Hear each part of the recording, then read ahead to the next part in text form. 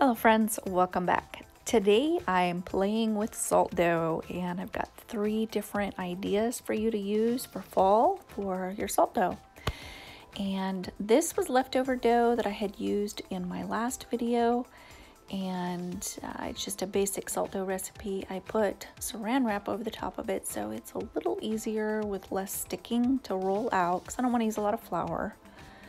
And I'm just going to roll it out and then I'm gonna choose some cookie cutters, my fall cookie cutters that I like, lots of leaves and maybe some acorns because I think that's my theme this year, acorns and leaves.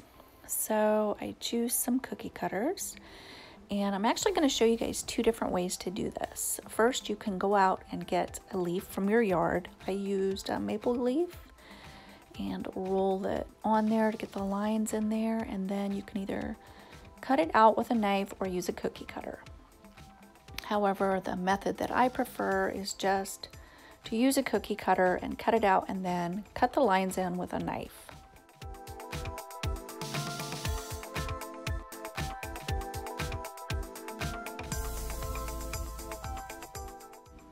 Okay, I have to tell you, this craft that I'm doing here, I got the idea off of a Pier 1 ad that I seen, and I it was a charger, and I thought, well, I could make that. So I'll insert a photo of the actual Pier 1 charger at the end of the video next to mine so you can see it. I think it turns out great. So we have to wait till you get to the end of the video to see that. okay, so I throw those in the oven at 200 degrees and let those bake. And then I was going to roll this out again, and then I thought, no, I'm going to grab one of these carvable Dollar Tree pumpkins. I've got a bunch of them. And I'm going to make a face on it. So everyone's always carving their pumpkins, and kids love to do that.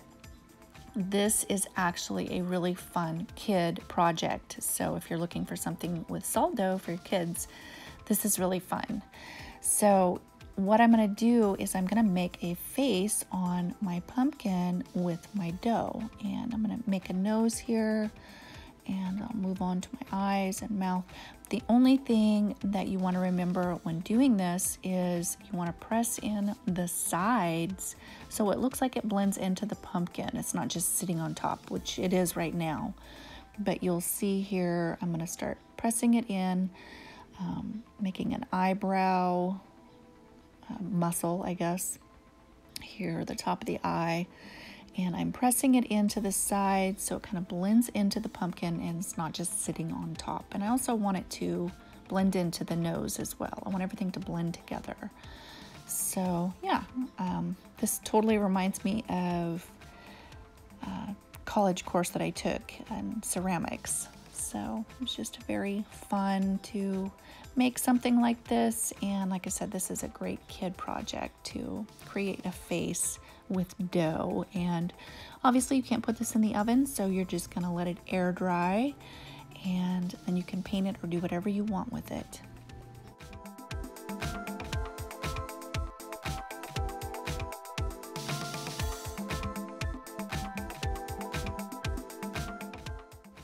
Something else to keep in mind, I just added flour to my hands.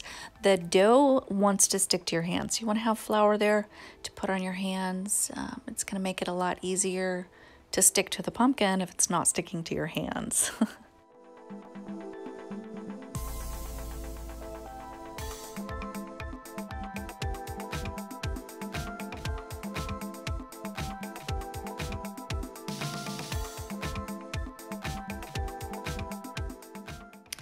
So what I'm doing here is just showing you an option. You could have like cat ears or horns or actual ears or cheek muscle like smile lines. Um, I'm just to choose to do a stem, like a curly stem and add that on there.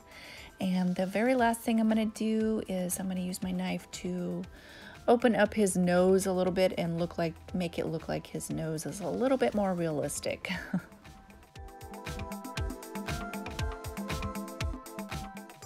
Okay, there he is. And like I said, you'd want to dry him. For the purpose of this video, I'm just gonna go ahead and spray paint him all white.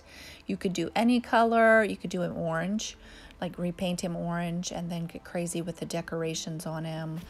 Um, but I just did white. And next I'm gonna use these glass bowls, they're small and I'm going to use some more leaf cookie cutters. And I thought about using a bigger size but I really wanted something small. So you guys do what size and shape you like. I'm just giving you an idea from my own stuff that I'm doing here. So um, I just did the cookie cutter again and used the knife as um, to draw my lines in just like I did before and I'm just gonna lay it across the bottom of that bowl upside down as a mold. So like I said, if you guys want more leaves to actually cover the entire bowl, then that would be absolutely beautiful. Um, I'm wanting something just really small and simple, like small enough for just a single votive or maybe even like a tea light so that's why I'm doing this. Um, but yeah, you could do more and do bigger, like big bowls. So, but yeah, you could completely get elaborate with this. But I'm just gonna do these and I'm gonna stick those in the oven. Okay, so my first batch of leaves have came out of the oven, so it's perfect timing for me to put these in. Same temperature and um, I grabbed one of the gold Dollar Tree chargers. So what I'm gonna do with these leaves is I'm gonna hot glue them all around the edge of this charger. And I also used some acorns and rolled some little tiny balls to look like berries and kind of grouped them in threes together and put them randomly in there.